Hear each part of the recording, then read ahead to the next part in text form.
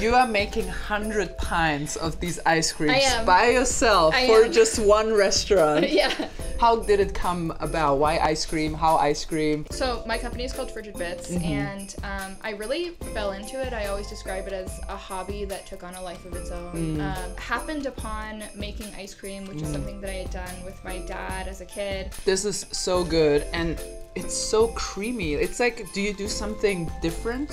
So my It's ice cream is no right? churn. Ah, Yep. So there you there's go. no Okay. eggs. It's not Okay. made in a machine. Right. It's a heavy cream and condensed milk base. Okay. And so I have Yes. Mm-hmm. a lot of control over the consistency. I can put a lot of air in there, make it really lightweight.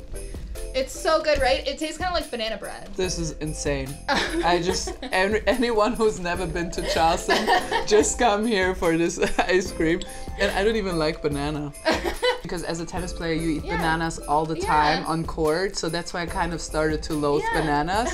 You rediscovered my love for bananas for me, so thank you for that. Wow, that of course, they have to be and they have to be dunked into Right, ice cream, and yeah. creme brulee. Right, but the sugar definitely helps for sure. Mhm.